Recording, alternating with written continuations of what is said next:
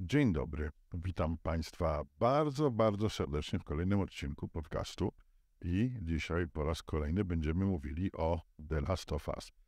No tak się składa, że poniedziałek, więc poniedziałek o godzinie trzeciej, jak zwykle, jestem. Ci, kto mnie widzą na, e, na YouTubie czy na Spotify, bo na Spotify też jest wersja wideo podcastu, no, widzą moją gębulę zmęczoną, no ale cóż, to nie jest tak, że ja się budzę przed trzecią, tylko po prostu do trzeciej nie śpię. Później o trzeciej oglądam ten e, kolejny odcinek serialu, a no później jakiś tam powiedzmy to bardziej drzemka niż sen, no bo z rana trzeba wstać, bo trzeba też pracować. Jakby nie patrzeć. E, szanowni Państwo, dziękuję za komentarze. Dziękuję za komentarze, które pojawiły się w, pod poprzednim odcinkiem, gdzie komentowałem Wasze komentarze. Mam nadzieję, pojawił się jeden komentarz, e, o którym może dzisiaj nie będę mówił, ale przeniosę go do odpowiedzi na Wasze komentarze. Więc, więc tam sobie omówimy ten temat. Liczę na to, że może kiedyś spotkamy się jakąś większą grupą właśnie na jakimś Zoomie. Byśmy musieli to sobie uzgodnić, tak, żeby być w czwórkę, w, w, w piątkę, w pięciu, w pięcioro. I na wszystkie tematy, niekoniecznie o The Last of Us. Uważam, że fajnie by było coś, zrobić coś takiego, abyśmy mogli sobie porozmawiać o wszystkim i o niczym i tak po prostu. Niekoniecznie musicie mieć kamerę, aczkolwiek fajnie by było też się widzieć. Moi drodzy, więc cóż, następny, następny odcinek The Last of Us. Może to być jeden z tych odcinków, które będziecie uważali za taki naprawdę nudny i monotonny, ponieważ tak naprawdę niewiele pod względem akcji w nim się dzieje. Ale jeżeli przeanalizujecie sobie odcinki, które do tej pory widzieliśmy, one wszystkie są prowadzone w tej samej linii, takiej spokojnej. Y, są momenty, gdzie dzieje się coś, jest jakieś zagrożenie, jest coś niebezpiecznego, coś, co zagraża naszym bohaterom i wtedy automatycznie podnosi się w nas adrenalina i emocje się unoszą, więc, więc mamy taką, e, takie sytuacje, e, mamy rzeczy smutne, jak chociażby historia Tess i e, Billa i Franka. Więc e, tak, znowu musiał o tym powiedzieć. Wiecie co? E, powiem wam szczerze, że nie rozumiem takiego podejścia do ludzi, którzy żyją w inny sposób. I e, to nie jest łatwy temat. To jest, to jest ciężki temat. E, wydaje mi się, że wiele obaw, wiele sytuacji e, związanych z tą grupą osób, z homoseksualistami, czy też LGBT, e, wynika z niewiedzy. Tak mi się wydaje. Mm. Bo wielu ludzi żyje w jakimś przekonaniu, w jakimś takim swoim świecie. Oczywiście nie chcę nikogo obrazić, nie chcę nikogo urazić. To są moje przemyślenia w tej chwili luźne, związane z tym tematem. Wydaje mi się, że wielu ludzi żyje w takim świecie, gdzie są pewne schematy. Tym schematem może być, czy tam, tym, tymi schematami są, że on wstaje rano, myje się, je śniadanie, czy też je śniadanie, potem myje się, wychodzi do pracy, w niedzielę idzie do kościoła, pomodlić się, posłuchać tego księdza, który jak zwykle e, ma rację i mówi, nie wszędzie, ale mówi na przykład ludziom, jak mają żyć, wraca do domu, włącza jakąś tam telewizję, która swoim przekazem jakoś go tam ugruntowuje, podaje mu informacje niekoniecznie rzetelne, niekoniecznie prawdziwe, niekoniecznie sprawdzone, ale podaje, on w to w jakiś sposób wierzy, asymiluje i, i, i na tym się kończy jego cała wiedza. E, ja bynajmniej nie, nie, nie, nie wydaje mi się, żebym gdziekolwiek, w którymkolwiek z moich materiałów mówił, że na przykład LGBT trzeba wychwalać, wywyższać, czy nie wiadomo co i jak. Powiedziałem wam też, że u mnie w rodzinie mam osobę e, homoseksualną. Jest to, jest to moja kuzynka, która żyje sobie z drugą kobietą, mieszka i dla mnie stanowią rodzinę. Co ty teraz będzie, co ty pierdzielisz? Ja, wiecie, ja jestem odporny na te wasze komentarze takie, które bezpośrednio uderzają we mnie, ponieważ e, mi już pisali, żebym zdychał, żebym, no napisali do mnie naprawdę wiadomości, komentarze i to ludzie z branży kompletnie niepowiązanej z tym podcastem, z branży, ja pracuję też w branży wnętrzarskiej, wykończenia wnętrz, dostarczam produkty głównie luksusowe do wykończenia wnętrz. I moja konkurencja wysyłała mi takie wiadomości, takie miłe słowa, że powiem wam szczerze, na dzień dzisiejszy cokolwiek, ktokolwiek by nie napisał do mnie per persona osobiście, ja jestem na to odporny. E, ja się nigdy nie przejmowałem takimi rzeczami, ponieważ uważam, że jeżeli ktoś atakuje mnie personalnie, to jest małostkowy, niedouczony, jest po prostu ignorantem. Nie dorasta mi do, do, do, do kostek, przy, przy, nawet do pięt nie dorasta do, do tego. No. Więc, więc ja mam takie podejście, jeżeli chodzi o tak zwanych hejterów i w ogóle, co, czy ty się nie martwisz? Nie, nie martwię się, mam na to wywalone. Ja szanuję ludzi, z którymi można porozmawiać, szanuję ludzi, którzy prowadzą, czy nawet piszą komentarze do mnie, nie zgadzają się na przykład ze mną, ale robią to w sposób logiczny, cywilizowany, a nie piszą e, jednego zdania i koniec. Dlatego zawsze mówię, jeżeli stawiasz łapkę w dół, proszę cię, napisz mi w komentarzu dlaczego. Co się tobie nie podobało, ale nie idź nad persona, że aj, bo mam taki ryj, a nie inny, bo ja wiem, że nie jestem urodziwy i mam jaki mam i niestety e, taki już jestem. E, więc, więc komentarz powinien być, nawet krytyka powinna być konstruktywna. Krytykujesz, stawiasz łapkę w dół na przykład, napisz mi dlaczego, bo a jeżeli to wynika z, z jakiegoś tam mojego charakteru, może jestem w stanie się poprawić i ciebie też zadowolić, abyś odbierał mnie w sposób inny. Nie, że ja będę udawał, ale może naprawdę mówię coś, nie wiem, ubliżam komuś, przykładowo, i ty mi na to zwracasz uwagę i okej, okay, powiem, no racja, powiedziałem nieodpowiednie słowo, nieodpowiednie słowa użyłem w stosunku do jakiejś tam osoby, masz rację, przepraszam, poprawiam się i jadę dalej, tak? I, i, i już y, temat jest naprawiony, nie ma problemu.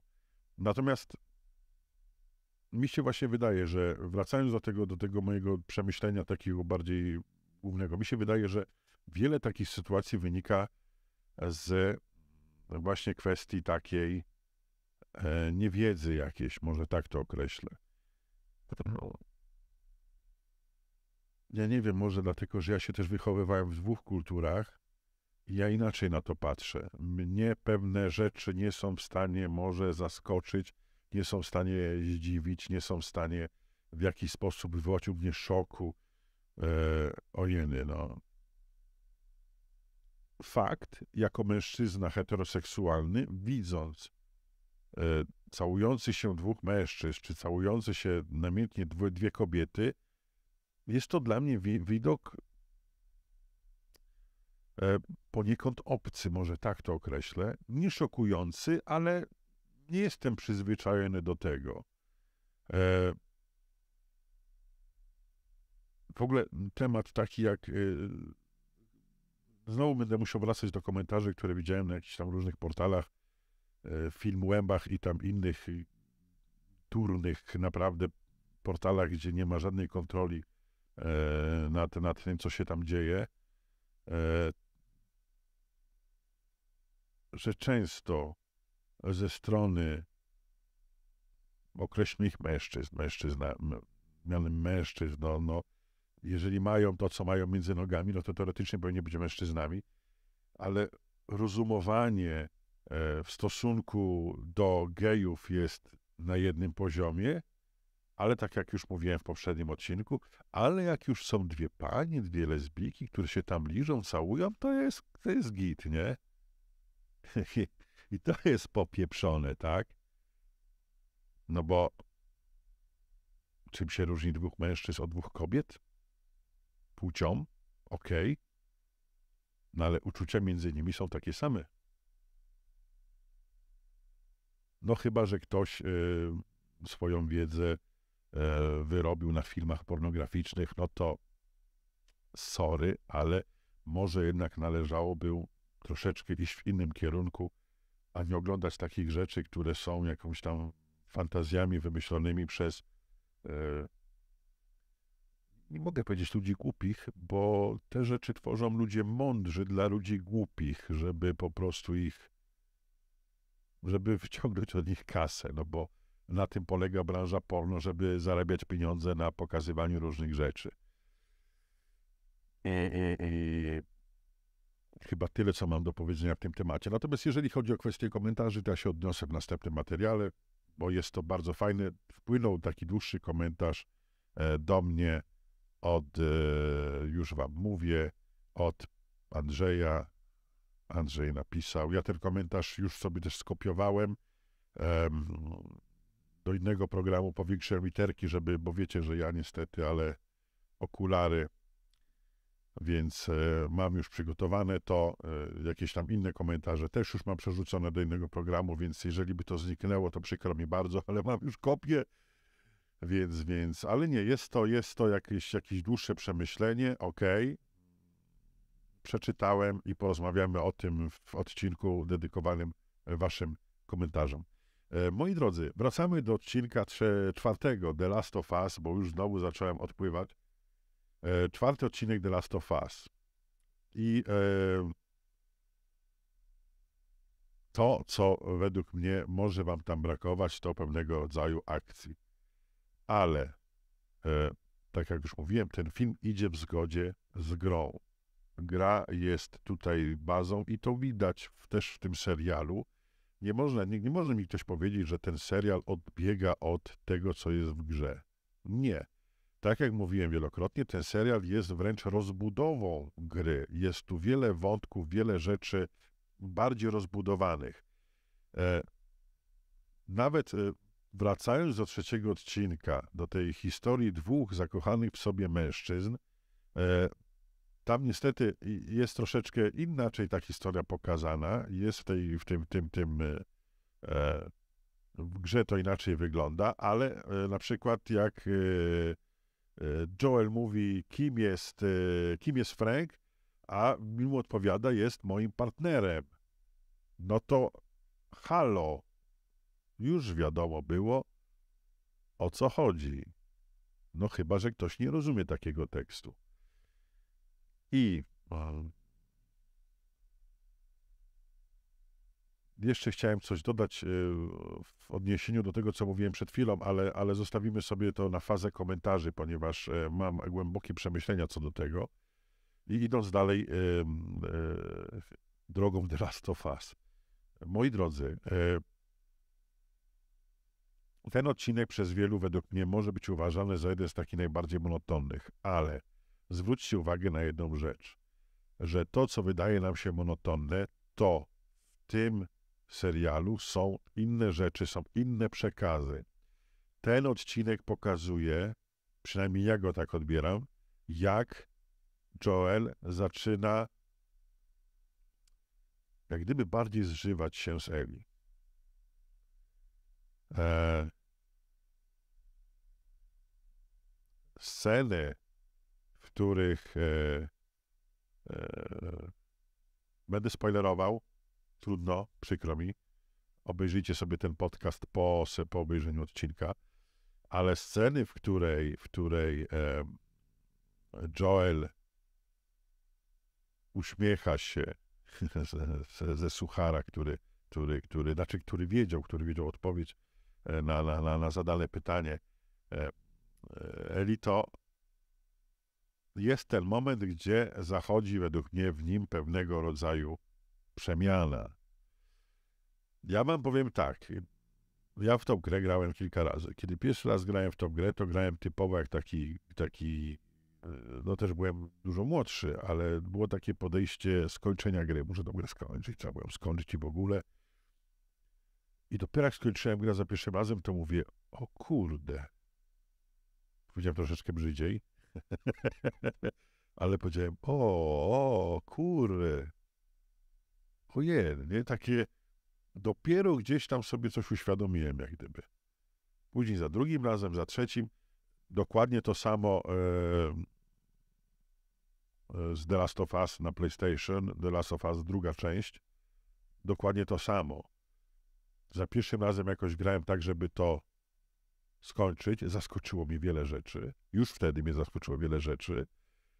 Ale dopiero za tym drugim, trzecim, czwartym, piątym razem wychwytuje się te różne rzeczy, te różne smaczki, te różne dodatki. Poza tym człowiek za trzecim razem, czwartym już nie gra tak, żeby skończyć tą grę, tylko gra, żeby poznać ten świat. I dokładnie tak samo było w pierwszej części. Człowiek za pierwszym razem, przynajmniej ja tak mam, że gram, żeby przejść, żeby ojej, skończyć, bo, bo, bo tak się robiło kiedyś. Teraz się już może czasami gra bardziej na luzie w tego typu tytuły, tak samo jak e, w tego cyberpunka, którego, którego do dzisiaj gram, mam jakieś chyba 600 godzin czy 700 przegranych godzin, e, gdzie skończyłem wszystkie misje na wszystkie możliwe sposoby, ale ten świat mnie tak fascynuje, że ja ciągle szukam jakichś dodatkowych ścieżek, dróżek, e, czegokolwiek, co pozwoli mi odkryć jeszcze od innej strony dane miejsce. Więc, więc e, chcę się po prostu jak gdyby cieszyć tym światem. I dokładnie e, historia The Last of Us, ona na pierwszy pozór może być nudna i monotonna. E, różnica polega na tym, że kiedy gramy w grę, to cała akcja zależy głównie od nas. Jeżeli chodzi o serial, to serial twórcy muszą nam muszą go dostosować do tego, abyśmy my rozumieli e, historię, abyśmy obserwowali, co się dzieje, jakie nadchodzą zmiany, e, oczekiwali, co będzie dalej. I niekoniecznie to musi być film w stylu serial, znaczy w zasadzie już chyba nawet można powiedzieć, że Fast and Furious to jest takim serialem, no bo doszliśmy chyba już do dziesiątego do dziesiątego odcinka za chwilę dojdziemy. E, pytanie, kiedy to skończą, więc gdyby tak, można powiedzieć, wrzucić to wszystko na jedną platformę streamingową, no to mamy taki serial w wielu odcinkach, który mówi e, każdy odcinek o czymś innym w zasadzie, a poniekąd są gdzieś tam ze sobą połączone, bo niby w jednym odcinku jeden ginie, a za chwilę się okazuje w następnym filmie, że on jednak żyje. Wow, a jak to się stało? No i oni wtedy tłumaczą, że jak e, Jason Statham e, uderzył samochodem, tam się niby zapaliło, niby wybuchło, niby ten, ale go ktoś tam wyciągnął, wiecie, cała historia, więc to nie jest tego rodzaju serial. To nie jest tak jak film akcji, to nie jest tak jak serial akcji, więc to jest e, troszeczkę inny rodzaj rozrywki. Ten serial będzie zaskakiwał nas różnymi sytuacjami, ale będzie utrzymany w tej linii. Aż do pewnego momentu kulminacyjnego, jeżeli będzie tak samo dokładnie jak w grze, kiedy to wszystko w pewnym momencie musi wybuchnąć. Bo w tej chwili kumulujemy jak gdyby emocje, kumulujemy to wszystko, tworzymy tą atmosferę, tworzymy ten e, rodzący się jak gdyby taki związek, co prawda Joel nie jest e, ojcem Eli, ale miał córkę. I między nimi rodzi się pewnego rodzaju więź. Ona jest pokazywana nam na każdym kroku, w każdym odcinku. E, zabawa, uśmiechy, jego obawy. I w pewnym momencie ta kumulacja tego wszystkiego z pewnością eksploduje. Musi to eksplodować, musi to wybuchnąć, i wtedy będzie niestety to jak gdyby zakończenie wszystkiego, zakończenie tej historii, ale do tego czasu wielu będzie mówiło, że ten serial jest nudny, że ten serial jest taki, że to też oni nie tego się spodziewali, że źle aktorzy dobrani, że to nie to, że tracą tylko czas, że znowu jakieś LGBT, że tego, tam, no cóż. Ludzi nie zmienisz. No ale zawsze mogą wziąć pilota, przełączyć na coś innego i oglądać jakiś inny serial. Mi się osobiście ta konwencja podoba. Mi się osobiście podoba ta linia. E, i, I dlaczego? Bo kiedy kończy się odcinek, to ja zawsze na końcu mam taki. Jestem pozostawiony, powiedzmy sobie, głodny. Chciałbym więcej, a oni mi tego więcej nie dają. I tu mnie szlak trafia. Że człowiek by chciał, żeby, a może jeszcze coś, a może, a może, no ale nie ma, niestety. No cóż. Eee, no, końcówka z giwerami przy czołach. E? Zaskoczeni. Nie powiem, co będzie dalej, dlatego zapraszam na kolejny odcinek podcastu, w którym będę oglądał, e, będę czytał Wasze komentarze pod poprzednim i pod tym materiałem. E, więc e, zapraszam do komentowania. Jak zawsze zapraszam do komentowania w sposób kulturalny, miły, e, znaczy miły, kulturalny, rzeczowy taki, tak, a nie jakieś komentarze z dupy, bo no po co wy macie tracić czas na pisanie komentarza z dupy, którego ja i tak nie przeczytam, bo szkoda naszego czasu na takie rzeczy. E, ale dziękuję, bo pan Andrzej, czy też Andrzej, jeżeli mogę sobie pozwolić, chyba wszyscy jesteśmy tu na ty, na mnie mówią oski w razie czego, z, napisał długi komentarz, z pewnością e, go przeczytam i odpowiem to, co sądzę, co uważam, e, zgodnie z własnymi przekonaniami, z własnym wychowaniem, kulturą, nie wiem, no ogólnie tak biorąc. Kochanie, dziękuję za uwagę i zapraszam do następnego odcinka podcastu. No i to prawdopodobnie będzie ten o komentarzach, a później może coś jeszcze wpadnie przed kolejnym odcinkiem The Last of Us. Póki co trzymajcie się cieplutko, wszystkiego dobrego i do usłyszenia w następnym podcaście. Albo do zobaczenia na YouTubie lub na Spotify. Podcast, jeszcze tak informacyjnie powiem, że jest na, już na Apple Podcast, jest na Spotify, jest bodajże na e, Google Podcast, czy jak to tam się nazywa, e, i wersja wideo na YouTubie, i wersja wideo na Spotify. Dziękuję wszystkim za komentarze, za obserwowanie, za oglądanie, za subskrybowanie kanału na YouTubie, za subskrybowanie podcastów na platformach podcastowych. Dziękuję Wam wszystkim za komentarze i do zobaczenia, usłyszenia w następnym odcinku. Trzymajcie się cieplutko. Cześć.